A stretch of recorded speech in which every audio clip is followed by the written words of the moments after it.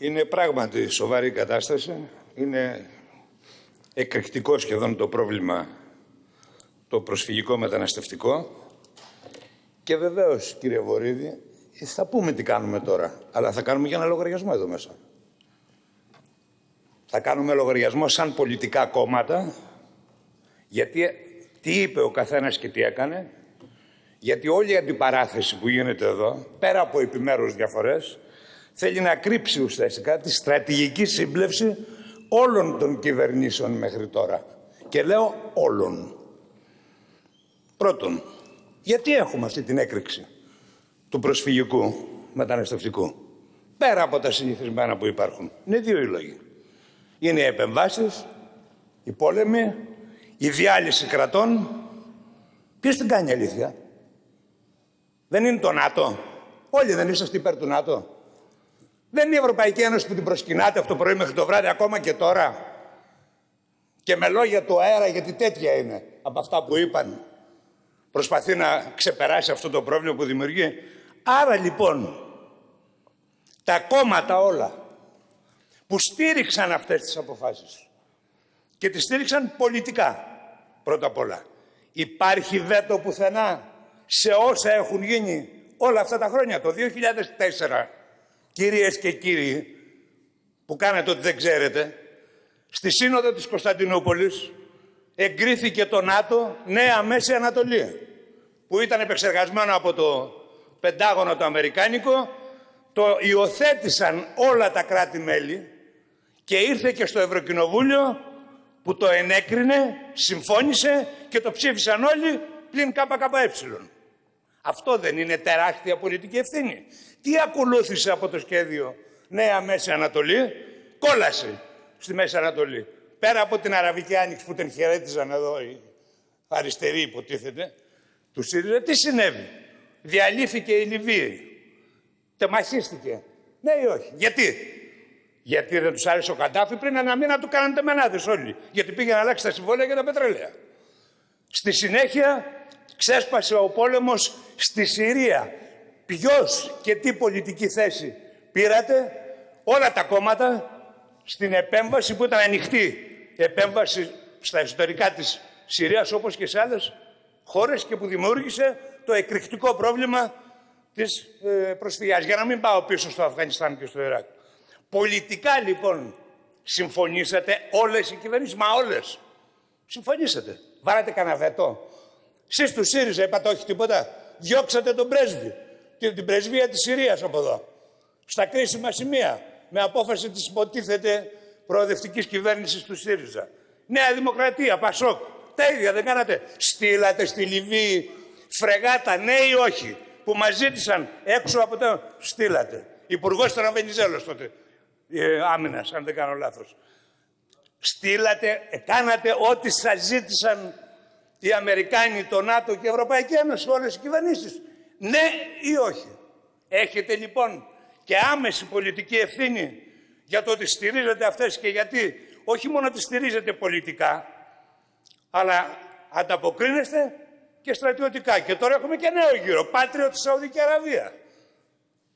Έχουμε στρατιωτικούς που θα πάνε στη Λιβύη. Να, αυτή η πολιτική. Άρα λοιπόν, ποιος είναι, ποιος φταίει για όλα αυτά, για να μην καυγαδίζουμε; Καυγαδίζεται μάλλον τζάπα. Δεύτερο θέμα, Δουβλίνο 2. Όταν ήρθε ο κανονισμός στο Ευρωκοινοβούλιο, εμείς τον καταγγείλαμε. Είπαμε ότι θα μετατραπεί η Ελλάδα και κατά δεύτερο λόγο άλλες χώρες σε αποθήκες ψυχών. Είναι απαράδεκτο κλπ. κλπ. Τι ψηφίσαν όλοι οι ευρωβουλευτές των άλλων κομμάτων; Ναι. Και της Νέας Δημοκρατίας; Και του Πασόκ, το Πασόκ ήταν τότε, και του συνασπισμού και μάλιστα του συνασπισμού ήταν πιο προχωρημένοι ακόμα. Ότι είναι λίγα αυτά τα μέτρα και πρέπει να πάρθουν άλλα. Άρα σήμερα γιατί κλαψορίζεται. Είναι αιτία το Δουβλίνο 2 που δεν μπορούν να φύγουν το 90% των προσφύγων από την Ελλάδα; Κατευθείαν. Ναι ή όχι; Εμείς μόνο σηκώσαμε φωνή και μας λέγατε και γραφικούς. Να Ευρωπαϊκή σας Ένωση. Και τα αποτελέσματα για να κάνουμε λογαριασμό. Πάμε παρακάτω. Η εισβολή της Τουρκίας, πάμε στο σύγχρονο. εισβολή, ο κ. Βορύδης είπε ότι ο Ερντογάν χρησιμοποιεί το προσφυγικό για τις διαπραγματεύσεις για το Ιντιλίπ. Σωστά. Σε ένα βαθμό υπάρχουν και άλλα βέβαια. Για πέστε μας κύριε Βορύδη. Καταγγείλατε την εισβολή της Τουρκίας στη Βόρεια Συρία; Τώρα που έγινε. Σε κυβέρνηση. Την Πάπια. Κουβέντα. Καταγγείλατε οι προηγούμενοι τις επιχειρήσεις που έκανε η Τουρκία; Γιατί δεν μπήκε τώρα. Έχει καιρό που μπήκε. Και πώς, πώς τολμάτε να μιλάτε για σύνορα όταν με το έτσι θέλω η Τουρκία με τις πλάτες των Αμερικάνων και της Ευρωπαϊκής Ένωσης καταλαμβάνει έδαφος ξένης χώρας. Εδώ δεν έχετε φωνή. Να μιλήσετε. Κανένας δεν μιλάει. Και μάλιστα τώρα που έρχονται και αυτές δεν περιμένατε ότι θα υπάρξει έκρηξη. Άλλωστε τα είχε πει και από πριν. Και ποιοι στηρίζουν αυτή την, την, την Τουρκία, την τουρκική επιθετική πολιτική σήμερα; Όχι μόνο εκεί αλλά και αλλού. Δεν είναι τις ώρες να πω και τα άλλα. Αμερικάνοι. Πρώτοι χαιρέτησαν. Από την Ευρωπαϊκή Ένωση τα ίδια. Και έρχονται και κάνουν δηλώσεις στον Εύρο. Ευχαριστούμε πολύ. Απ' τη μία οπλίζουν και δίνουν όπλα δηλαδή, για να χρησιμοποιεί ο Ερντογάν και αστική τάξη της Τουρκίας τους πρόσφυγες. Και από την άλλη λέτε ότι ήταν πολύ σημαντικό που ήρθαν στον Εύρο και είπαν, εκφράσαν την αλληλεγγύη. Ποια αλληλεγγύη; Πούντι. Ποια αλληλεγγύη; Θα συνεχίσω. Όταν ξέσπασε η κρίση η πρώτη, το ΚΚΕ πήγε και στον πρόεδρο της Δημοκρατίας, έκανε και συνάντηση με τον Πρωθυπουργό τότε και έκανε την εξής πρόταση που θα την επαναφέρουμε. Στα σύνορα, ο ΙΕ, η Ευρωπαϊκή Ένωση, να, να αναλάβουν επιτόπου που θέλει να πάει ο καθένας με αεροπλάνα και βαπόρια, να το πω έτσι που λέει, να τους στείλει σε εκείνες τις χώρες που θέλουν να πάνε. Αν αυτό δεν το υποστήριξε κανένα πολιτικό κόμμα.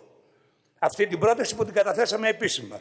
Κανένα, μα κανένα. Και όλα τα χρήματα που δίνει για να τους ταΐζει εκεί θα μπορούσε να τα δώσει στα ξεκαράβια και σε αεροπλάνα και να μεταφερθούν στις χώρες ώστε να εκτονωθεί η κατάσταση. Ούτε 10% δεν θα έμενε στην Ελλάδα. Έτσι λένε τα στοιχεία για να μην πω ότι είναι παραπάνω. Το 90% και πάνω θέλει να πάει σε χώρες της Ευρώπης που έχει συγγενείς κλπ. κλπ. Γιατί δεν στηρίξετε αυτή την πρόταση; Γιατί δεν την καταθέσατε, κύριοι του ΣΥΡΙΖΑ, στην Ευρωπαϊκή Ένωση που ήσασταν κυβέρνηση; Εσείς της Νέας Δημοκρατίας και του Κινάλ, γιατί δεν τη στηρίξατε να πει ότι το Κουκουέ έχει δίκιο; Αυτή είναι η λύση. Αυτή θα ήταν ομοψυχία. Που ζητάτε ομοψυχία σε μια πολιτική βαρβαρότητας που στηρίζεται όλα αυτά, όλα αυτά τα χρόνια. Τι αποδεικνύεται λοιπόν τώρα, ότι καταρχήν δεν είμαστε όλοι οι ίδιοι, ότι είμαστε όλοι υπεύθυνοι. Είστε συνυπεύθυνοι και πολιτικά και, και, και όπως είπα πριν, ακόμα και στρατιωτικά. Τι βγάζει όμως η ίδια η ζωή, ότι η επιλογή σας όλων με τον ΝΑΤΟ, την Ευρωπαϊκή Ένωση, τα καλύτερα παιδιά να είμαστε, οι πιο πρόθυμοι, καυγαδίζει τώρα ο ΣΥΡΙΖΑ, ωραία, που καταντήσατε ότι αναβαθμίσατε γεωστρατηγικά με τη συμφωνία που παραδώσετε όλη την Ελλάδα στους Αμερικάνους. Και, και λέτε να τη συνεχίσει και η Νέα Δημοκρατία και να δούμε αν θα μας σπάσει. Σας ξεπέρασε τώρα. Δεν υπάρχει. Έχετε βάλει πολύ ψηλά τον πύχη, αλλά τα κατάφερε γιατί ήταν, ήταν λογικό. Χρεοκόπησε λοιπόν όλη αυτή η στρατηγική που είχατε. Στην πράξη το λέμε. Μισό εκατομμύριο είναι στα μικρασιατικά παράλια. Δεν ξέρω πόσες χιλιάδες έχουν φτάσει που είναι στον Εύρο. Και τι άλλο κάνατε; Εδώ και φέρατε τον ΝΑΤΟ στο Αιγαίο. Πω, μεγάλη απόφαση. Να βοηθήσει για το προσφυγικό μία τρύπα στο νερό. Το ΝΑΤΟ δεν ήρθε για το προσφυγικό. Εσείς το καλέσατε. Καμιά άλλη κυβέρνηση πριν δεν το είχε πει ανοιχτά. Η κυβέρνηση ΣΥΡΙΖΑ που παλεύει τον υπεριαλισμό κατά τα άλλα. Φέρατε το ΝΑΤΟ. Τι έκανε το ΝΑΤΟ; Που ήρθε τα δικά του σχέδια εξυπηρετεί. Υπογράψατε συμφωνία που μόνο το Κομμουνιστικό Κόμμα Ελλάδας την κατήγγειλε. Απαράδεκτη συμφωνία και μάλιστα σήμερα η κυβέρνηση έρχεται και ζητάει να εφαρμοστεί η συμφωνία ή και ο ΣΥΡΙΖΑ το ζητάει. Ευρωπαϊκής Ένωσης Τουρκίας, η οποία εκτός των άλλων, εκτός των άλλων, εγκλωβίζει στα νησιά. Γιατί άμα τους πάει στην ενδοχώρα, λέει, αλλάζουν. Δεν μπορεί ούτε να επιστρέψει ούτε τίποτα. Αυτή την απαράδεκτη συμφωνία που υπέγραψε η κυβέρνηση και που συμφώνησε η κυβέρνηση του ΣΥΡΙΖΑ, την αμφισβήτησε η Νέα Δημοκρατία. Όχι, με απόφαση της Ευρωπαϊκής Ένωσης και τα σκυλιά δεμένα. Επομένως, αυτή η γραμμή χρεοκοπεί. Και απευθυνόμαστε στο λαό. Όσο είσαι το καλό και πειθαρχικό παιδί με τους λύκους, γιατί τέτοιοι είναι, τα συμφέροντά τους κοιτάνε. Δεν τους νοιάζει τίποτα άλλο. Τα συμφέροντα όχι των λαών, των μεγαθυρίων των οικονομικών που έχουν, τόσο θα πάει σε μια αδιέξοδη πολιτική και να φτάνει σε σημείο που είναι, μπορεί να είναι αδιέξοδη πολιτική. Θα, πείτε τι λέτε εσείς; Μάλιστα. Πρώτον, κατάργηση του Δουβλίνου. Να αποχωρήσει και η Ελλάδα μονομερός. Το Δουβλίνο 2, που δεν θα δεσμεύεται. Α, κουνάτε το κεφάλι, ε. Ε, βέβαια. Εδώ λέμε κακά λόγια. Ματσακίζουν, μας ακατεύει, διαλύει τη χώρα, διαλύει τους πρόσφυγες και τους μετανάστες, τους τη βάζουν σε νησιά σε συνθήκες απαράδεκτες και δεν τολμάει να σηκώσει κεφάλι μια κυβέρνηση. Και να πει δεν την εφαρμόζω. Πάρτε τους, να, να τα πάρτε όσο όπου θέλουν να πάνε και κανονίστε εσείς τα υπόλοιπα. Δεύτερον, να κλείσουν τα hot spot στα νησιά του Αιγαίου και να μην δημιουργηθούν ούτε κλειστά ούτε ανοιχτά. Στα νησιά. Δεν πάει άλλο. Και ξέρετε τώρα δεν θέλω να μιλήσω και διαφορετικά γιατί μας έχει σε κάποιες στιγμές τι σημαίνει και γενικότερα. Ευρωπαϊκή Ένωση και ο ΙΕ διαδικα... να οργανώσουν διαδικασίες υποβολής αιτήσεων ασύλου μέσα στην Τουρκία και στα σύνορα με την Ελλάδα και στα σύνορα με τη Συρία και απευθείας αυτό που είπαμε πριν. Μετακίνηση στο χώρο που θέλουν να πάνε. Και έτσι και η Ελλάδα ξεμπλοκάρει, αλλά και οι πρόσφυγες θα πάνε εκεί που θέλουν και θα τα εγκλωβίζονται σε μια, σε μια χώρα εδώ. Και τέλος βέβαια, να σταματήσει η συμμετοχή και η στήριξη σε αυτά που είπα πριν, που κάνατε και που κάνετε συνέχεια. Όταν στηρίζεις παντού τους φωνιάδες των λαών, γιατί τέτοιοι είναι αυτοί οι οργανισμοί, δεν είναι τίποτα άλλο. Τα συμφέροντα του κεφαλαίου παγκόσμια υπερασπίζονται. Έχουν ματώσει ολόκληρη την ανθρωπότητα, δεν αφήνουν τίποτα όρθιο, ούτε και τους νοιάζει τίποτα. Όταν στηρίζεις λοιπόν ενέργειες τέτοιες, όταν συμμετέχεις και να μην πω πόσα τότε θα έχεις αυτά τα θέματα. Επίσης θέλουμε να θέσουμε τελειώνοντας και το θέμα που, που υπάρχει με τα σύνορα και λοιπά και όλο τον καυγά που γίνεται εδώ πέρα. Κλειστά ή ανοιχτά σύνορα για μας ο κοσμοπολιτισμός είναι ο ίδιος επικίνδυνος με τον εθνικισμό. Όσο υπάρχουν χώρες θα υπάρχουν και σύνορα. Και αυτά πρέπει να υπερασπίζονται. Και όλο αυτή η θεωρία τώρα που λένε, υποτίθεται, ότι τι είμαστε. Εδώ χώρες ξεχωριστές είναι. Κυριαρχεί παντού η βαρβαρότητα και ο καπιταλισμός. Λέμε λοιπόν η αναγκαία φύλαξη των συνόρων, η αναγκαία φύλαξη των συνόρων στον Εύρο δεν μπορεί να χρησιμοποιείται και προσέξτε καλά τι λέμε, για να νομιμοποιούνται ακροδεξιές φωνές και δράσεις. Ανοιχτές και συγκαλυμμένες. Να ακούγονται και να προμοντάρονται από υπουργούς ρατσιστικές κραυγές για να μείνουν στο απειρόβλητο αυτοί που φταίνε. Και αυτοί που φταίνε δεν είναι αυτοί οι δυστυχισμένοι άνθρωποι. Βέβαια μπορεί να υπάρχουν και εγκληματίες και άλλοι. Δεν... Αλλά το σύνολό τους, όταν ο άλλος τώρα παίζει τη ζωή του κοροναγράμματα με πιθανότητες 10-20% να έρθει εδώ, είναι σε αδιέξοδο. Δεν μπορεί να στρέφουμε τον κόσμο εναντίον αυτών. Και δεν είναι εγκληματίες όλοι. Και αφήστε τώρα τώρα, τι έχετε, έχετε φάκελο. Ναι, αφήστε, λέω, μαζευτείτε. Ναι, λέω, μαζευτείτε. Δεν είστε εσείς τώρα που λέτε, βαφτίζετε εκατομμύρια κόσμο εγκληματίες και μαχαιροβγάλτες. Ότι έχει και τέτοιους έχει.